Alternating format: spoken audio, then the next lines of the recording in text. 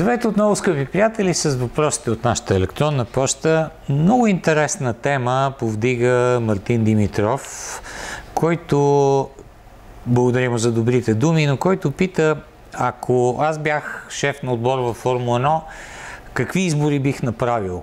Към каква аеродинамична концепция а, бих ориентирал автомобила си, каква задвижваща система бих избрал и в крайна сметка а, каква двойка пилоти от а, тези, които се състезават в момента, бих подбрал за собствения си тим. Значи от това, което виждаме в момента, трябва да кажем, че естествено на първо място се налага по-скоро философията на автомобилите, примерно с тесен нос, и а, не особено повдигната задна част. Тоест, този спор, който имаше в а, началото на настоящата ера, дали автомобила да бъде с а, аеродинамична концепция по-близка до унази от предходната декада, нали, с разбирането на Едриан Нюи за повдигнатата задна част, или концепцията на Мерцедес с по-равно шасийно, по-тесен нос, оформяне на въздушните потоци е по-добра. Ферари, например, в периода 2017-18 година по-скоро бяха ориентирани към широкия нос, нали, малко по-различна концепция. Сега виждаме, че и Макларен отива в посока, примерно, тесен нос. Racing Point постигат добри резултати в така оформянето на колата по този начин. Така че може би стъпка по стъпка аеродинамичната концепция на Мерцедес надделя.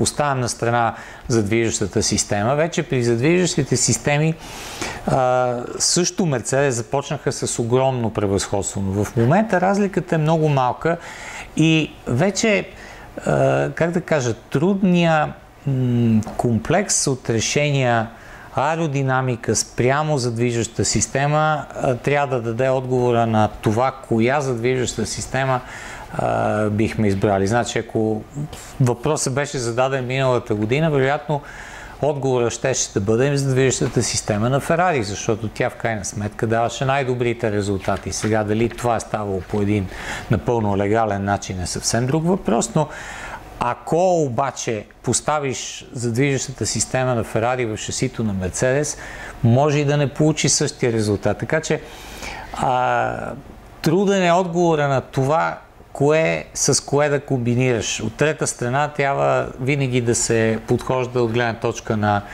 ефективността, на консумацията на гориво. Примерно в, дори в предходния период от развитието на, на спорта. Red Bull имаха и това предимство, да, Рено нямаха и тогава най-силният двигател, но техният двигател беше с много добра економичност с много ниски изисквания към охлаждане и така натам. Така че това също е важен елемент, защото Ферари с промените в задвижващата система се наложи да направи така, че да увеличи радиаторите на автомобила си за тази година, което повлия негативно и върху аеродинамичната им концепция. Виждаме, че примерно Алфа Ромео запазиха в малко по-голяма степен аеродинамичната концепция с по-низко чално съпротивление. Ферари тази година отидоха в друга посока. И, и затова е трудно да кажем, избираме, но все пак, нека така да, да отговоря, значи избираме аеродинамичната концепция с по-хоризонтално шаси и по-тесен нос.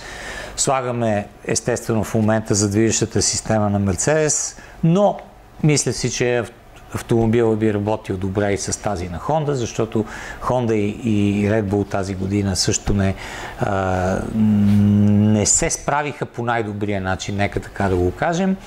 И вече при пилотите коя пилотска двойка да, да, да изберем, със сигурност водещ пилот за мен при всички обстоятелства в настоящия формат на Формула трябва да е Хамилтън.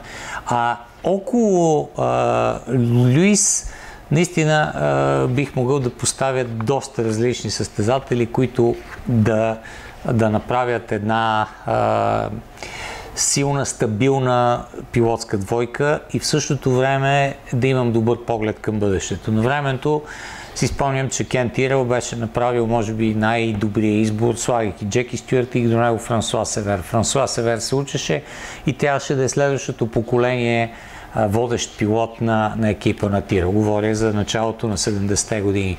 Честно казано, мисля си, че най-добрата пилотска двойка би била Луис Хамилтън и Шарло Люклер. Нали, това са пак чисто хипотетични а, комбинации в а, настоящия момент. И естествено с много сложно, много внимателно управление на тези пилоти, с много ясно м- дефинирани позиции във всяко едно състезание, във всяка една ситуация, всяка една тренировка, ако щете, кой пред кого излиза, защото това има значение. И, и, и така си представям, може би, някакъв идеален вариант от настоящия момент, вече в края на, на 2020 година.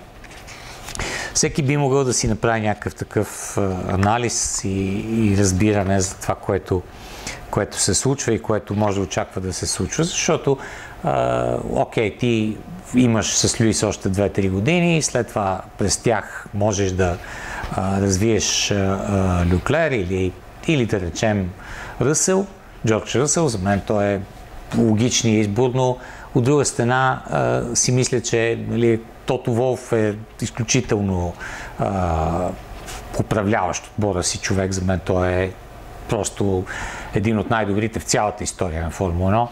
И, и той пък не иска да слага Ръсъл от една страна заради това, че може да се потисне, от друга страна, че може да създава проблеми, които Валтери не създава. Благодаря за, за въпроса. Ще бъдем отново заедно скоро.